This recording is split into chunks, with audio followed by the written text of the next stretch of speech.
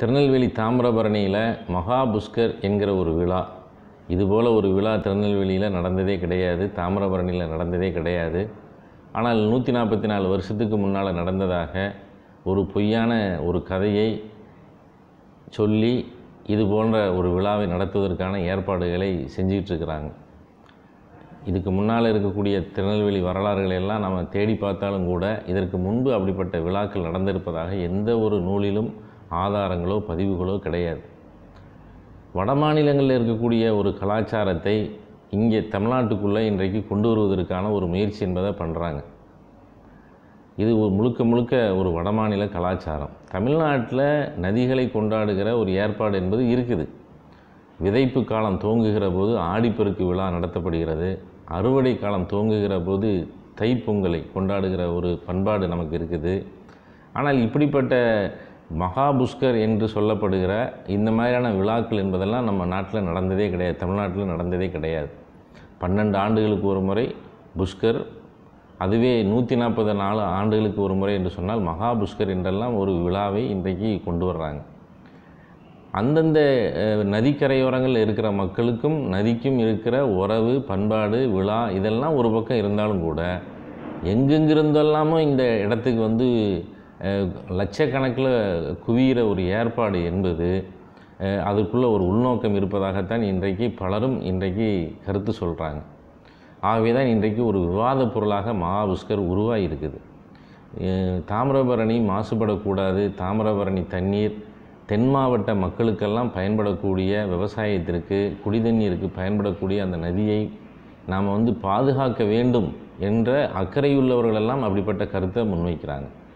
ஏன்னா மற்ற எல்லா நதிகள்லையும் ஒன்றும் தண்ணி கிடையாது. இல்லைன்னா சர்ச்சைக்குரிய நதிகளாக இருக்கிற போது எந்த சர்ச்சைக்கும் ஆளாகாமல் வருடம் முழுவதும் ஓடி தண்ணீர் இருக்கக்கூடிய ஒரே நதி தாமிரபரணி தான். ஆகவே இந்த தண்ணீரை நம்ம இந்த நதியை நாம் பாதுகாக்க வேண்டிய மிகுந்த அக்கறை நமக்கு இருக்கிறது.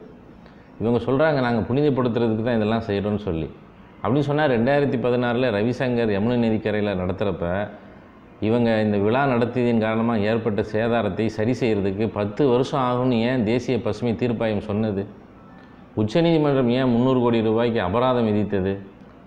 ஆனால் மத்திய அரசாங்கம் அவருக்கு ஆதரவாக இருந்து அந்த அபராதத்தை கூட கெட்ட வேண்டாம் என்று அவருக்கு விதிவிலக்கு கொடுத்தாங்க.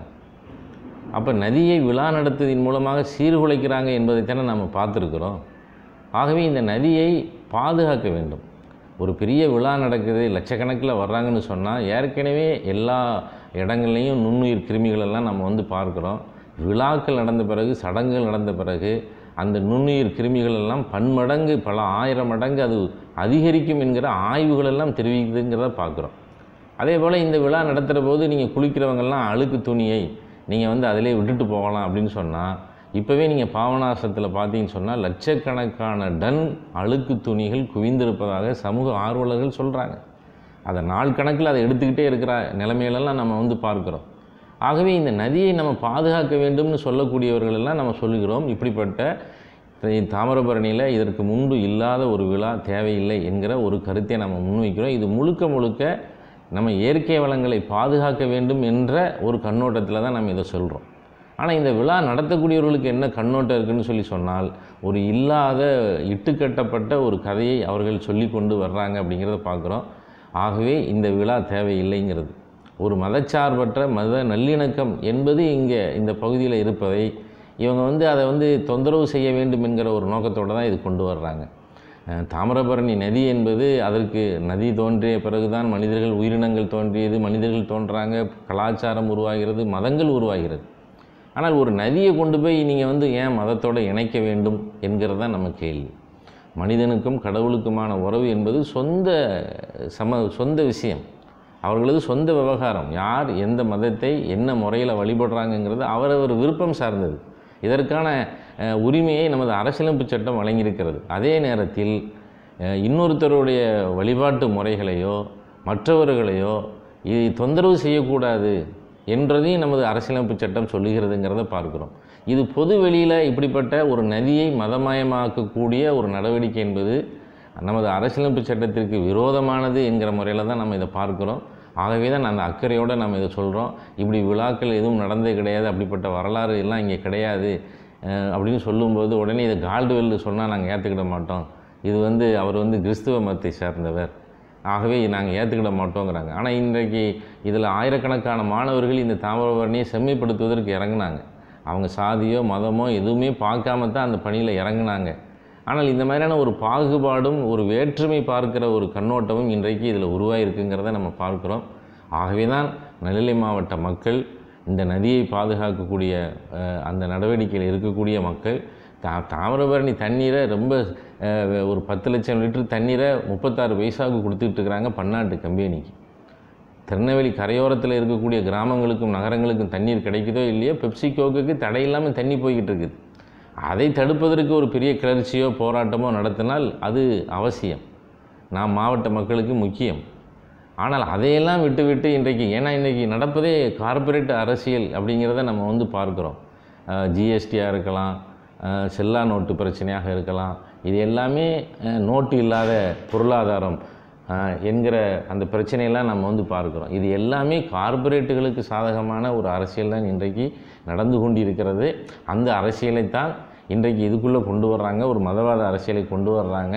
அந்த எச்சரிக்கையை அந்த கவனத்தை சொல்லுகிறோம். ஆகவே மாவட்ட நிர்வாகம்.